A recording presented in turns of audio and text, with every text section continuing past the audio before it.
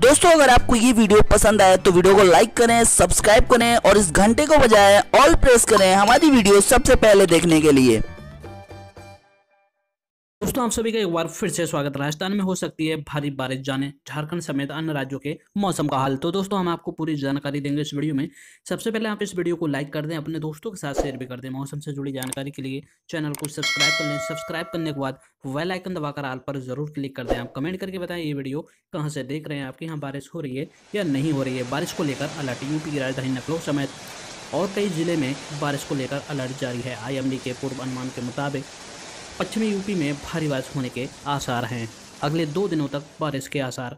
मौसम के पटना के अनुसार राजधानी समेत प्रदेश के अन्य जिलों में अगले दो दिन तक बारिश को लेकर अलर्ट जारी है। इसी प्रकार मौसम का मिजाज बना रहेगा। यूपी में भारी बारिश का अलर्ट।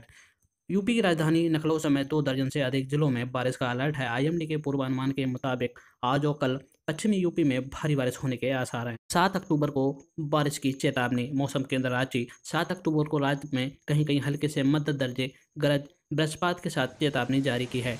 वहीं आठ और ग्यारह अक्टूबर तक को राज्य के कुछ स्थानों पर हल्के से मध्य दर्जे की बारिश होने की संभावना है। दिल्ली में हल्की बारिश का अनुमान, मौसम अनुमानकर्ता के अनुसार चार पाँच दिनों में छुटपुट छुट जगह हल्की बारिश का अनुमान जताया है, जिससे हवा साफ़ रहेगी, तापमान आरामदायक स्तर पर रहेगा। भारत मौसम विभाग आईएमडी के अनुसार पश्चिम बंगाल की खाड़ी के ऊपर निम्न दबाव क्षेत्र बन रहा है।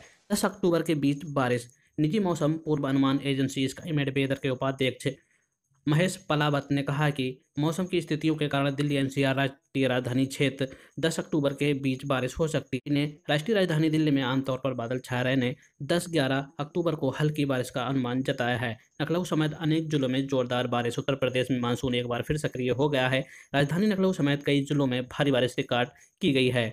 मौसम केंद्र के मुताबिक प्रदेश में मानसून एक बार फिर सक्रिय हो गया है।